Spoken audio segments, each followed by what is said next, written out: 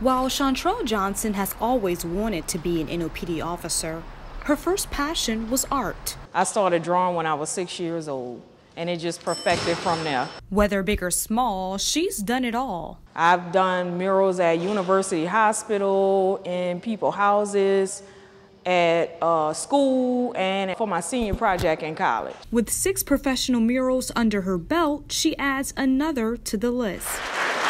Today, the NOPD Academy staff unveiled the newly designed mural created and designed by Officer Johnson that can be seen at the new academy. I was asked, they asked who can draw or who, you know, who can do the mural. So I volunteered and say, I'll do it. We mixed some things up, you know, took some stuff out and then added stuff and it was time to paint.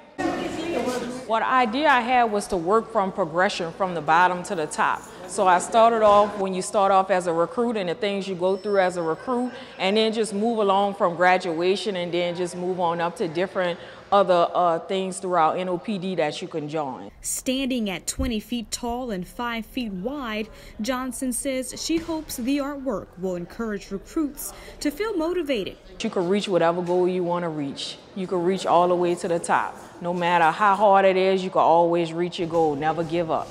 Ambria Washington, NOPD News.